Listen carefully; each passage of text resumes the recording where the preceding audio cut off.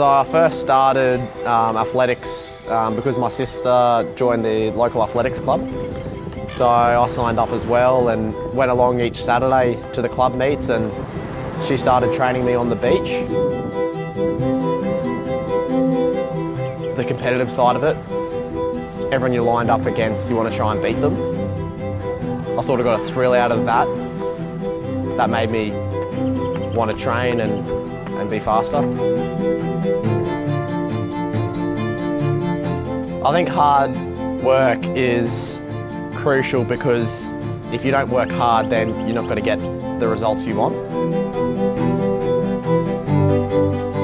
You've done a couple of months of hard training and it all comes off on the day and you execute your plan and, and run a great race or a personal best or get a medal.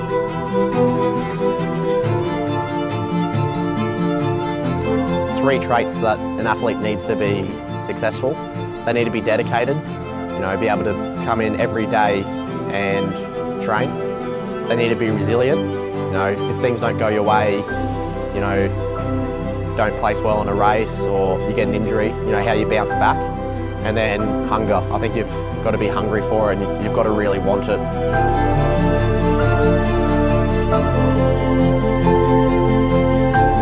Goal is one day make an Australian semi-final and then make an Australian final and then, you know, be in the top five and then medal and maybe make an Australian team.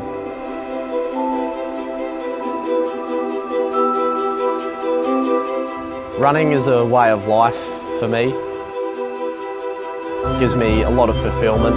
Get to travel all around Australia, get to meet a lot of people, get to put my body to the test against other athletes